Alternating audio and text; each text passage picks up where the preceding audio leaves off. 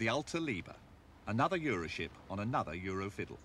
Each day it takes trippers on a fun cruise round the Baltic, but they don't go for the sea breezes. They go to buy butter.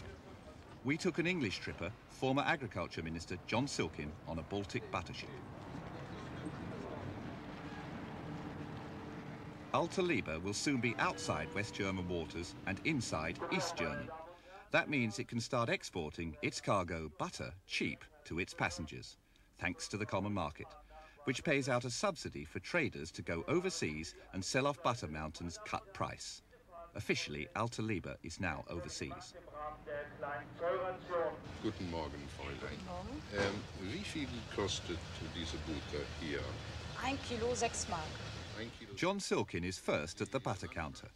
Another 1,200 trippers will buy here today, and another 200,000 by the end of the year. Ähm, ich werde ein Kilo Butter nehmen, bitte. Ja.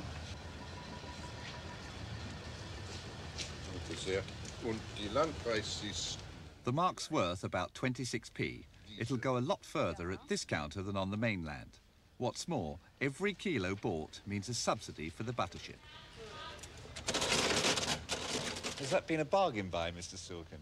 Well, by German standards, yes. I passed the lady, as you may have seen, a 10 mark note, which is roughly what it would cost ashore. And I've got this butter, about two pounds of it, and I've got four marks change. So that you can see anyone buying this will have saved four marks, which is a little over a pound. How's it come about that this trade goes on? Well, it comes about because of the high prices in Europe. And the Germans have got the basis for getting round these high prices. I mean, obviously, not everyone can do it, but quite a lot of people do. They run these ships, and provided they are at sea for eight hours or just touch, that's all they have to do, a foreign port, then they can sell these foodstuffs at about half price. The butter ships. At least one million pounds. Legal. We asked Mr. Silkin whether the butter ships were a typical common market fiddle. Well, it's rather an original fiddle, of course, and a perfectly legal one. But when you have a system as cumbersome and complicated and artificial as the Common Agricultural Policy, there are bound to be fiddles, both legal and illegal, all over the common market, and this is one of them. Fiddles legal and illegal? Yes. Which concern you most?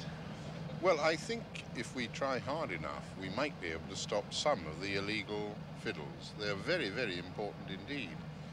The legal ones are more difficult because, in fact, the lawyers are extremely astute and they're always one jump ahead of the Commission, and every time the Commission plugs one loophole, another two have arisen. And this is one reason, of course, why the butter ship continues. And will probably continue for years, giving happy Germans cheap butter to cook their Harwich rice in. Because the Commission hasn't much time to close loopholes like this.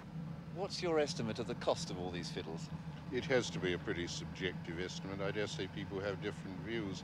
I wouldn't be in the least surprised to find it running at a thousand million or even a wee bit more a year.